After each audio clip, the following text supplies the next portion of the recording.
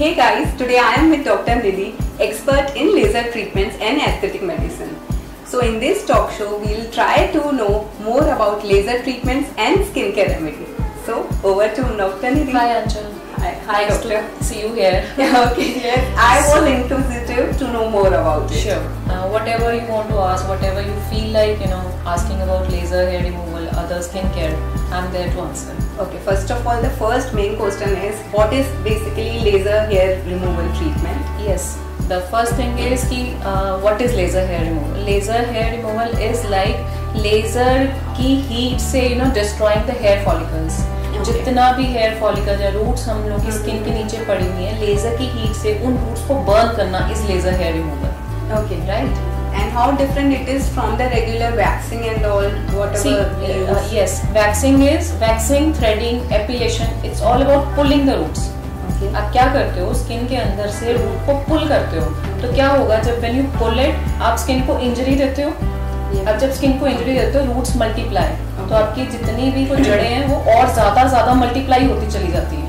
कभी आप देखोगे कि आप चिन में चार पाँच हेयर थे you started pulling it you started threading it तो वो रूट्स बहुत ज़्यादा इंक्रीज हो गया वो एरिया एक्सटेंड हो गया। Hair growth increase hair. Growth increase. होते हैं सो लेजर ने क्या करना है वो सारी चीज़ों को रिवर्स करना है क्योंकि लेजर में we are not pulling the roots any more. हम लोग लेजर में बिल्कुल भी कोई रूट पुल नहीं करते हैं। We just cut the length and we show laser light on the surface अब उस हीट की वजह से अंदर जो भी जड़ें पड़ी होती हैं एक्टिव होती हैं वो उस हीट की वजह से बर्न हो जाती है। Now they act as a dead body और बॉडी कुछ टाइम सात दस दिन में उनको शेड आउट कर देती है। So this is the way eventually time के साथ धीरे धीरे आपकी ग्रोथ कम होती चली जाती है और जो हेयर uh, भी हैं वो आपके थिन होते चले जाते हैं और Okay. हो जाते हैं यानी कि इनएक्टिव होते चले जाते हैं। So is it like destroying the roots? Yes exactly it's like destroying the root it's like burn देखिए ऐसे है लेजर का जो इस वाली हर लेजर का काम डिफरेंट है। हर लेजर का काम डिफरेंट मींस कि हर लेजर का अपना टारगेट होता है जिस, जिसको कि हम क्रोमोफोर बोलते हैं। लेजर हेयर रिमूवल की जो लेजर होती है दैट इज़ 808 नैनोमीटर की वेवलेंथ होती है जो कि हेयर रूट के अंदर जो पिगमेंट पड़ा होता है मेलानिन वो उसका टारगेट होता है। तो उसको बाकी किसी और चीज़ से कोई लेना देना नहीं है। जहाँ पे भी उसको रूट में मेलानिन Exact दिखेगा वहीं पे। वहाँ पे वो उसको बर्न कर देगी उसको डेड कर देती है उसको डिस्ट्रॉय कर देती है। Uh, do can can we know more about like uh, we will face any side effects because of the laser hair removal? No side effects नहीं होते हैं। इट जस्ट कि आप एक suppose you have come for एक particular target आप जब लेके चलते हैं बॉडी पे या फेस पे तो there are number of sessions कि आप एक प्रोसेस कंप्लीट करते हो कि हम लोग का हर बार ये देखते हैं कि 10-20 परसेंट बाल कम हो गए। इस तरीके से फाइव टू सिक्स सेशंस हम लोग रेगुलर लेते हैं एंड फिर ज़रूरत के हिसाब से लेते हैं and there are no side effects the only thing is कि स्किन टाइप और कलर के हिसाब से सेशंस वेरी कर जाते हैं। You know some people may take few more sessions than other people depending upon कि उनका हार्मोनल स्टेटस क्या है, उनका लाइफस्टाइल का कैसा है हेयर ग्रोथ किस लेवल से हमने स्टार्ट की, ये सारी चीज़ें वेरी कर जाती हैं। Elaborate more about the skin color which you said like the sittings or sessions will vary? ऐसा है देखिए जब हम हीट देते हैं तो बहुत जायज़ सी बात है कि जब हम डार्कर स्किन टोन्स में जाते हैं तो ज़्यादा स्किन हीट देने से obviously tends to have more burn Okay. तो हमें थोड़ा सा एक ब्रेक रखनी पड़ती है उतना हीट दे नहीं सकते फेयर स्किन में हम थोड़ा ज़्यादा हीट डिलीवर कर पाते हैं तो उस हिसाब से नंबर ऑफ़ सेशंस वेरी कर जाते हैं.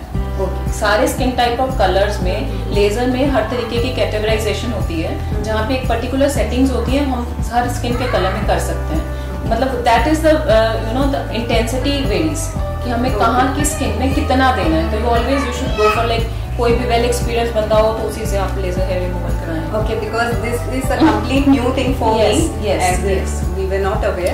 And uh, Like if we have gone through the entire six or seven session, like do we need to repeat it like after some time? देखिए ऐसे है इसका जो मेन मोटिव होता है जो हमारा करने का दैट इज़ रिडक्शन इवेंचुअली आपके 80 टू 90 परसेंट बाल आपके कम हो गए obviously worth spending but hormonally active age है तो कुछ कुछ 10 percent twenty percent growth appear हो जाती है.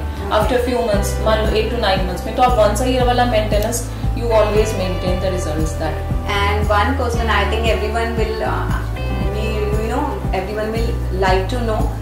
What about the quality of the hair if it comes back? Like it will be coarse, it will be hard or something? No, no, no, no, no. बिल्कुल thinning होती है बहुत ही fuzzy होता है बिल्कुल ही आप देखोगे कि जैसे डेड हेयर की तरह एक्ट करता है वो Okay. और when you just cut that off जब आप उसको रेजर भी करते रहते हो तो that won't grow thicker again वो वापस अपनी थिकनेस नहीं लेता. Reduction means reduction in all the aspects कि वो. पतला भी हो गया डेंसिटी भी कम हो गई नंबर ऑफ़ हेयर भी लेस हो गए. तो हमें इसके लिए पोस्ट केयर क्या करना चाहिए? पोस्ट केयर जब आप रेडी होते हैं या आप प्लान करते हैं लेजर हेयर रिडक्शन के लिए तो first thing important is stop waxing that area stop threading that area so you keep the full growth ठीक है? एंड जब आप एक बार लेजर रिडक्शन ले लेते हैं द पोस्ट केयर इज़ कि आपको you know you have to always been a kind of soothe forty eight hours तक you don't have to touch the area कि वो एक सूदनिंग हम लोग कैलामाइन लोशन वगैरह दे देते हैं एलोवेरा जेल्स देते हैं. So that pores are open हुए हैं so you are not infecting infecting the area and rest कोई मेजर नहीं है you are always ready to expose the area wherever you go for hair reduction and does it depend on the age group like from which age group yes yes age group definitely matter करता है। कई बार हम young girls में या young kids में हम लोग start करते हैं तो हम लोग बहुत एग्रेसिवली उस चीज़ को फॉलो नहीं करते हैं। We try to know kind of की जितनी ज़रूरत है उतना ले लें। बट हम जब twenty five to forty five age होती है कि आप एक proper you know eight to ten sitting में आपका प्रॉपर रिडक्शन हो जाता है। और 45 के बाद sometime no hormones are not that active so it may take few number of sittings as compare to जब आप एक्टिव फ़ेज़ में होते हो। थोड़ा सा वेरिएशन एज ग्रुप के हिसाब से नंबर ऑफ़ सिटिंग्स का रहता है otherwise results are the same and suppose if I start with laser like मैंने दो तीन सिटिंग्स ले ली बट उसके बाद किसी रीजन से मैं नहीं ले रही हूँ तो what will be the plan of you know see वो रिडक्शन विल स्टे सपोज़ करो Okay. आपने आर्म्स स्टार्ट करी आपने लेग्स लिया और आपका 30 40 50 परसेंट आपकी ग्रोथ आपकी कम हो गई थी और कुछ थिनिंग हो गई थी देन दैट विल स्टे मतलब ग्रोथ तो अपीयर होगी 40 50 परसेंट बट. उतना यू नो थिकनेस नहीं होएगी उतना डेंस स्पेस आ जाएगा बालों के बीच में. Number of hair will be less definitely मतलब reduction will stay if in case you are not able to take it further okay ठीक है ना? एंड अगर हम अफोर्डेबल एंड पॉकेट फ्रेंडली सोचे तो उसके बारे में आप हमें गाइड करें. वेरी फ्रेंडली और काफ़ी and it's worth spending you know because आप पूरा साल एक बॉदरेशन से हटे रहते हैं कि आपको हर महीने के बाद वैक्सीन नहीं लेनी है थ्रेडिंग नहीं लेनी है. And the best part is कि you are going towards reversal कि हम बालों को कम करते चले जा रहे हैं. So it's always worth spending Okay. Can we expect some good packages from Dr. Nidhi? हाँ I think you can always put a message So I think you shouldn't miss this chance and consult Dr. Nidhi if you are really looking forward for the laser hair removal. कोई भी queries होती हैं I think you are always drop a message we are there to answer us